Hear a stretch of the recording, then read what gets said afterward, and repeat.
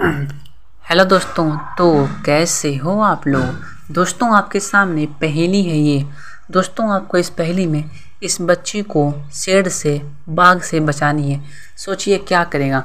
आपके पास ऑप्शन है दो और टाइम से तीन सेकेंड। सोचिए इसका आंसर क्या होगा। एक काम करते हैं, हम पहन लेते हैं घास का भेस। और क्या हम इससे बच सकते हैं? और क्या हम इससे बच गए? Oh oh no